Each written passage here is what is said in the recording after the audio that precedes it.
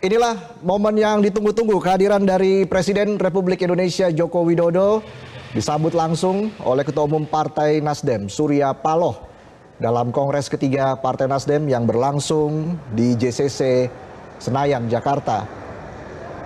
Tentunya ini menjadi momen yang sangat spesial ya, Mas ya, Hanta kita lihat sekali. bagaimana uh, ini keakraban dan juga ya. kehangatan antara Ketua Umum Partai Nasdem Surya Paloh dan juga Presiden Republik Indonesia Joko Widodo yang memang akhir-akhir ini sudah ditunjukkan juga begitu ya bagaimana Oke baik, kita akan saksikan jalannya kongres berikut ini pemirsa.